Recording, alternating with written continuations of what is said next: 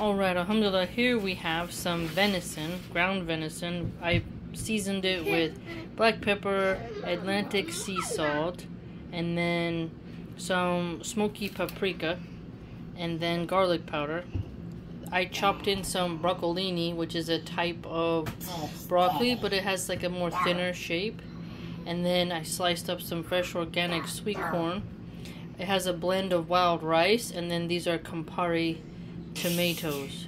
So it turned out quite fantastic, flavorful, baked it in a Dutch oven, very aromatic, alhamdulillah. Colorful as well, very good for filling you up for the day because it has the carbs in there with the more grainy wild rice.